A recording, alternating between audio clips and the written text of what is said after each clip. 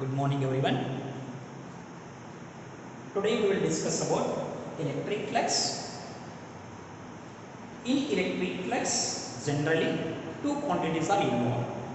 One is electric field and area in electric field. See here, to understand about the electric flux, it is necessary to know about area vector. Area vector. Vector.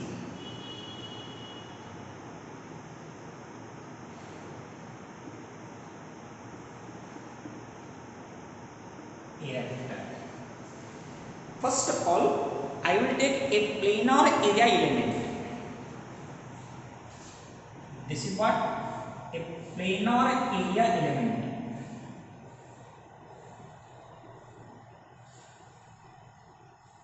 Right? This is length. This is length you can call. And this part?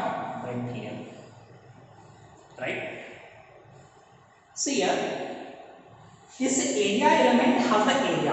How to represent area? Area can be represented length into breadth. Then how to take the direction here? What is the direction of area vector? Actually, the area element can be represented in terms of area vector. And how to take the direction of area vector here? See here, I will take a geometry here. If this is breadth, then this also breadth here. Shall I take a geometry?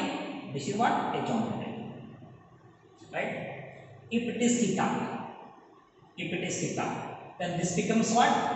This becomes b sine theta and this becomes b cos theta.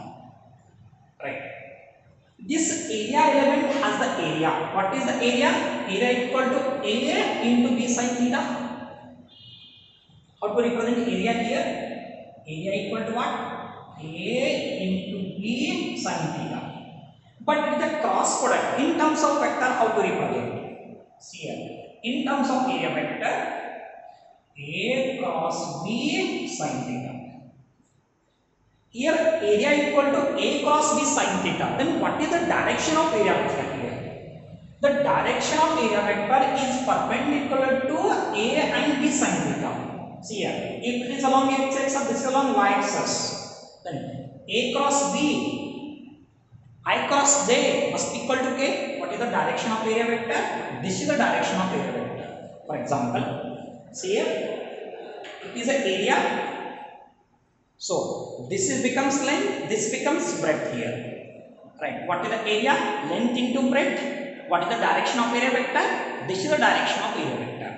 I mean, a planar area element can be represented in terms of area vector. See here. Hmm. How to take? One more situation I will take. Look at me. This is what?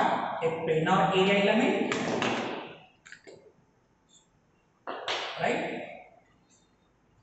like this length into breadth I will take? For this planar area element. What is the direction here? This is the direction of area vector.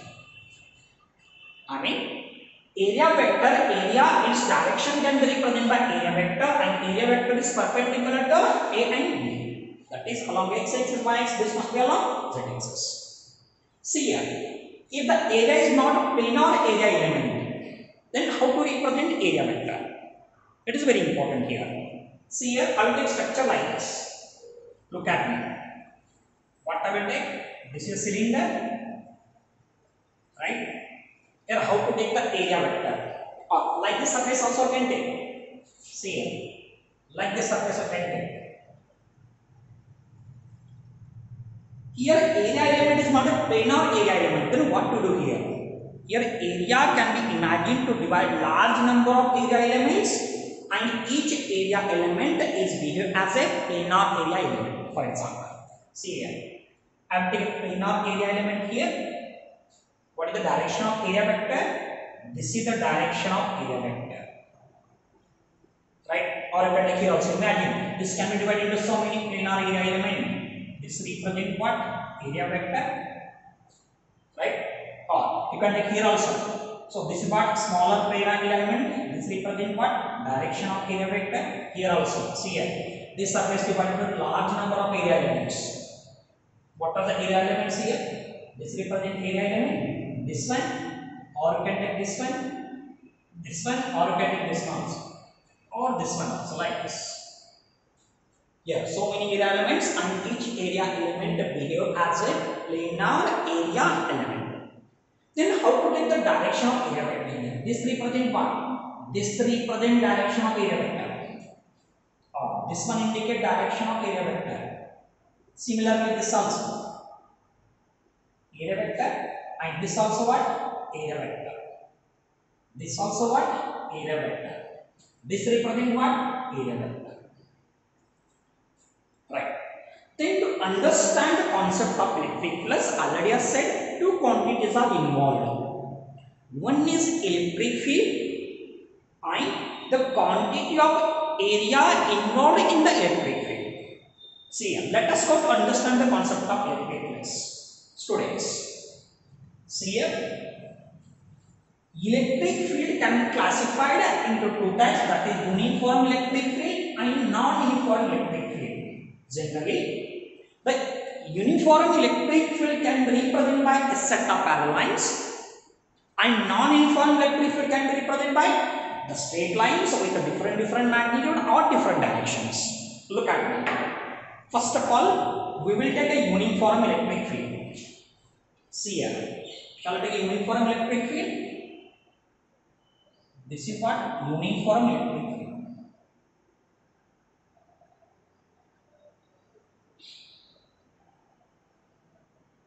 Right? This is uniform electric field. I can take non-uniform electric field also. See here. This represent what? Non-uniform electric field. Right? I think by what magnitude? This is the magnitude of electric field density. In this uniform or non-uniform electric field, I can take a planar area element or non-planar area element. First of all, in this case, I will take a planar area element. See here, what it is? This is a planar area element. Planar area element. Right? Then here I will take a some other area I will take like this, like this I will take. Take like this? Here how to take the area vector? Divide this area into so many area elements and each area element we have as a planar area element. How to take that? See here, I will take this much area element or this much area element or this much or like this element. Right?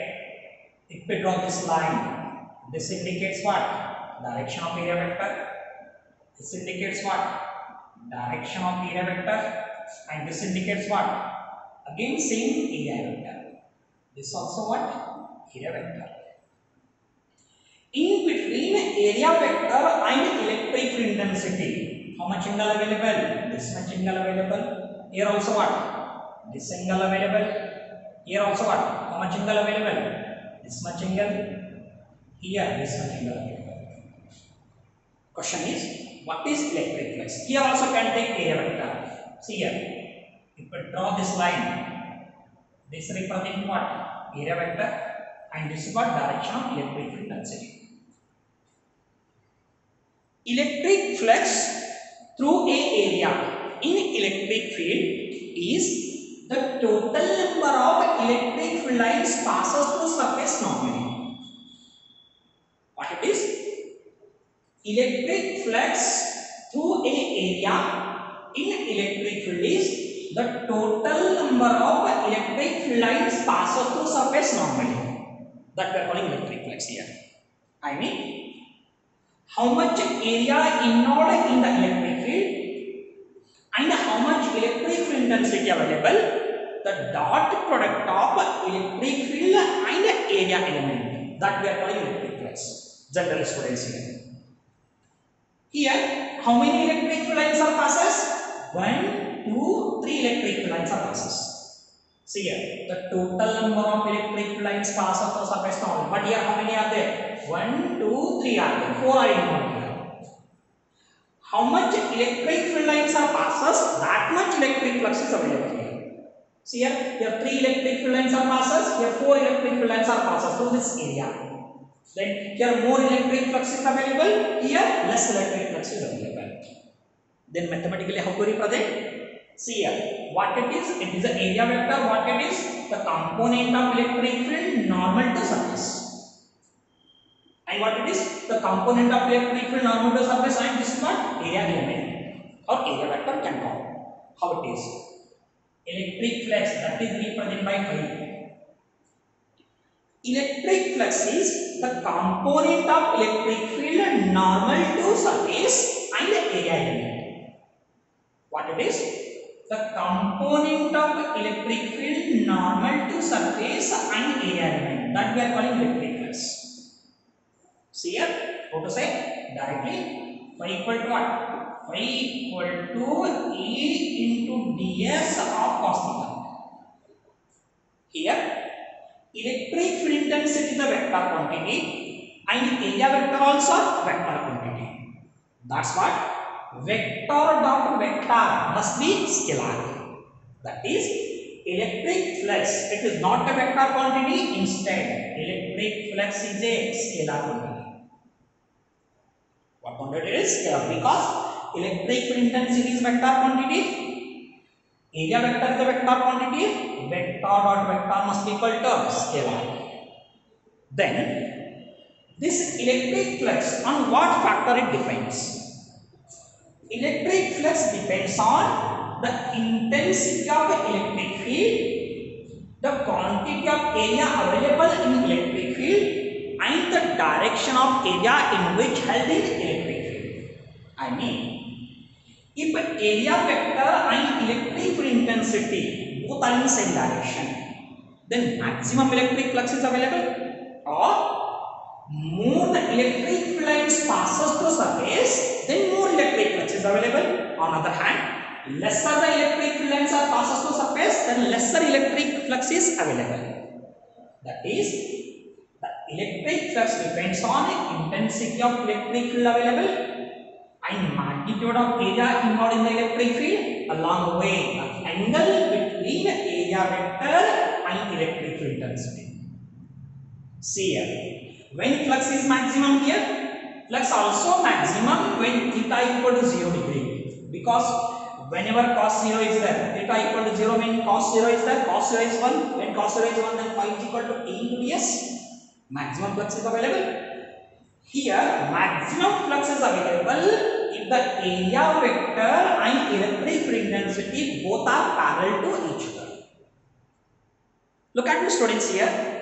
Electric flux may be positive, electric flux may be negative or electric flux may be zero here. On what factor it depends? It depends on this angle. For example, if theta equal to 0 degree, then what happens here? If theta equal to 0 degree, then flux is equal to what? Flux equal to what? E into ds. Flux is a positive. Right? If the case, theta equal to what? Theta equal to 180 degree or greater than 90 degree. Right? Then how to write here? Cos 180, that is minus 1. Then minus 1 can be written how to write? Phi equal to what? Phi equal to E into ds. If theta is greater than 90 degree or equal to 180 degree, then flux is a negative. When flux is 0, flux is 0. Whenever theta equal to what? Theta equal to 90 degree.